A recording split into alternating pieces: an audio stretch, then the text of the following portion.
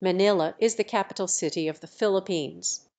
It is located on the eastern shore of Manila Bay and is known for its rich history and vibrant culture. Manila has a population of over 1.7 million people, making it one of the most populous cities in the world. The city has a mix of both modern and colonial architecture, with landmarks such as the historic Intramuros, a walled city built during the Spanish colonial period.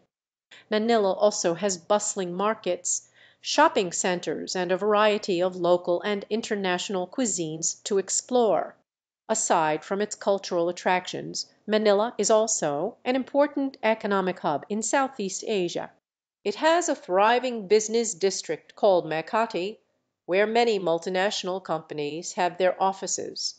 Manila is a city that offers a taste of both the past and the present, with its historical sites, vibrant street life, and diverse population.